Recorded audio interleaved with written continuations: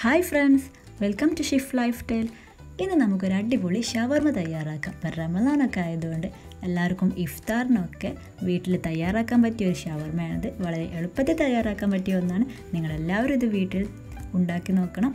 എന്റെ ഈ വീഡിയോ നിങ്ങൾക്ക് ഇഷ്ടപ്പെടുകയാണെങ്കിൽ എന്റെ വീഡിയോ ലൈക്ക് ചെയ്യാനും ഷെയർ ചെയ്യാനും സബ്സ്ക്രൈബ് ചെയ്യാനും മറക്കരുത്.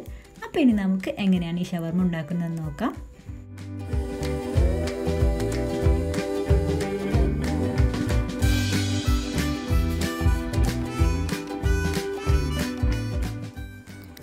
ഷവർമ ഉണ്ടാക്കുന്നത് ചപ്പാത്തിയിലായതുകൊണ്ട് തന്നെ ആദ്യം തന്നെ ഞാൻ മാവൊക്കെ നന്നായിട്ട് റെഡിയാക്കി ചപ്പാത്തി വേവിച്ച് വെച്ചിട്ടുണ്ട്.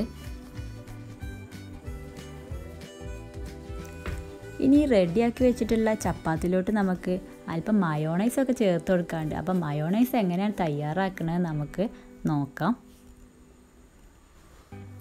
ഇതിലോട്ട് നമുക്ക് ഒരു മുട്ടയുടെ ആവശ്യമുള്ളൂ അപ്പം ഈ മുട്ടയുടെ മഞ്ഞ എടുത്തു കഴിഞ്ഞ് ഈ വെള്ളം മാത്രമേ നമുക്ക് ആവശ്യമായിട്ടുള്ളൂ. പിന്നെ ഒരു ഉരുളക്കിഴങ്ങ് ഇതുപോലെ നന്നായിട്ട് വേവിച്ചെടുത്തത്. രണ്ടല്ലി വെളുത്തുള്ളി. ഒരു കാൽ കപ്പ് പാൽ. എന്നിട്ട് ഇത് നാലും കൂടെ നമ്മൾ ഒരു മിക്സിയുടെ ജാറിലിട്ടിട്ട് നന്നായിട്ടൊന്ന് അരച്ചെടുക്കണം.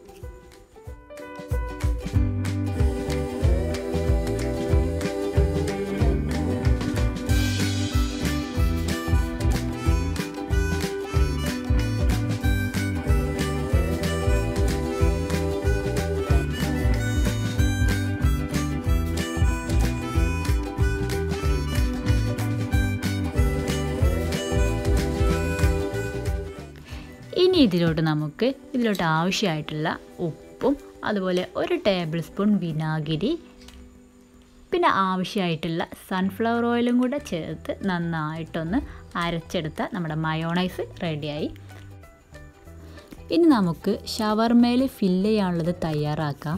ഇത് ഉണ്ടാക്കാൻ ആവശ്യമായിട്ടുള്ള സാധനങ്ങൾ ഒരു കുക്കുംബർ രണ്ട് ക്യാപ്സിക്കം അതുപോലെ ഒരു വലിയ ഉള്ളി ആവശ്യത്തിന് ചിക്കൻ രണ്ടല്ലി കരിവേപ്പില. ഇവയെല്ലാം നന്നായിട്ടൊന്ന് അരിഞ്ഞെടുക്കുക. ചെറുതാക്കി അരിഞ്ഞെടുക്കണം.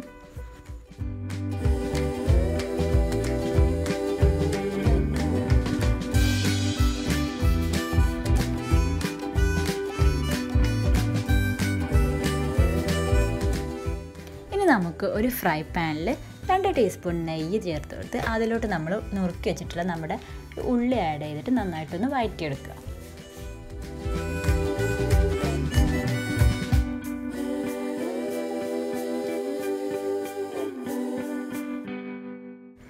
നമ്മുടെ ഉള്ളി ഏകദേശം വെന്ത് വന്നിട്ടുണ്ട്. ഇനി ഇതിലോട്ട് നമുക്ക് നമ്മുടെ നുറുക്കി വെച്ചിട്ടുള്ള ക്യാപ്സിക്കം കൂടെ ആഡ് ചെയ്തിട്ട് ഒന്ന് വേവിച്ചെടുക്കണം. നന്നായിട്ട് വേവേണ്ട ആവശ്യമൊന്നുമില്ല. ഒരു ഹാഫ് വേവാണ് നമുക്കിതിന് ആവശ്യമായിട്ടുള്ളത്. ഇനി നമ്മൾ അരിഞ്ഞു വെച്ചിട്ടുള്ള കുക്കുംബറും കരിവേപ്പിലയും അതുപോലെ ചിക്കനും കൂടെ ആഡ് ചെയ്തിട്ട് നന്നായിട്ടൊന്ന് വേവിച്ചെടുക്കാം.